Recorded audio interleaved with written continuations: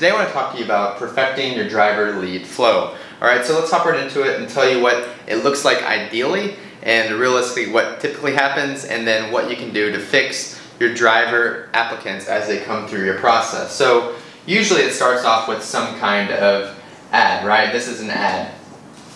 You may be doing this on Craigslist, Indeed, etc. Some kind of ad. I would highly suggest getting away from Craigslist and Indeed and all that. That's for a different video, but in the end it starts with an ad.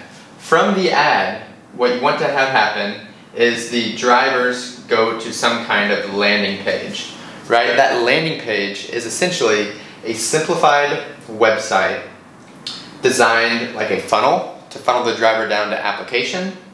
And it does not need to be filled with you know, homepage, about us, history, etc. Again, it's a one-page website designed like a funnel and created to get those results, which is, of course, more applicants coming through. So ad, landing page, driver reads about the position, he winds up applying, right, he submits an app, and then you guys qualify, of course, and then you hire. Now, this is the perfect sequence. If you are having this happen every time like clockwork, congrats, you beat the driver shortage. Realistically though, this does not happen very often. And unfortunately, this is what most companies do. Heck, most companies don't even have a landing page to begin with. They just go from ad to application to hire, cross their fingers and hope it works out, and then they wonder why they had empty trucks, right? So this is what you want to have happen. Now, here's what usually happens. Driver sees the ad, he probably goes to your website, which is a problem. You want to send them to a landing page. Let's say you already have a landing page set up though. Well, there's a 50-50 chance if the driver actually applies or not. Not because he's not interested in your company, but because he or she is busy. Drivers are busy. They're on the road driving, uh, you know, calling dispatchers, helping with consignees, etc. They are busy. They do not always apply right now. They put it on the back burner and say, yes, I'll do this later. Typically, they forget though. So, what you have happen often is that they hit the landing page or your website, but then they do not apply, right? So no application.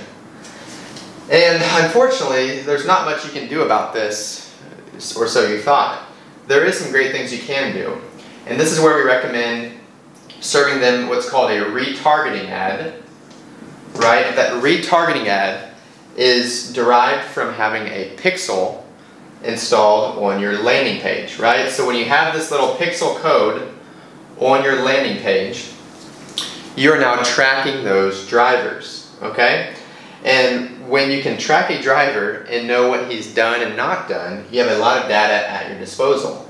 With that tracking pixel, you know that he did not apply, so now you can serve him retargeting ads to get that driver interested in your company again. Because if a driver went to your landing page, expressed interest, was looking around, but for whatever reason did not apply, they probably just need to be pushed a few more times of seeing your company again and again until they convert to application.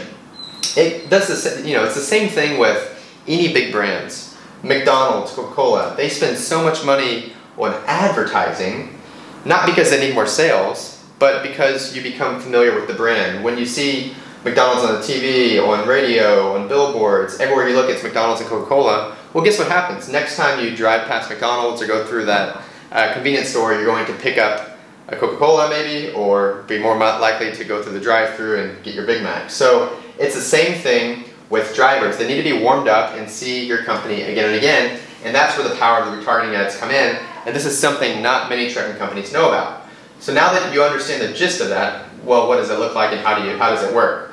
You go out and you feed retargeting ads only to those individuals that did not apply.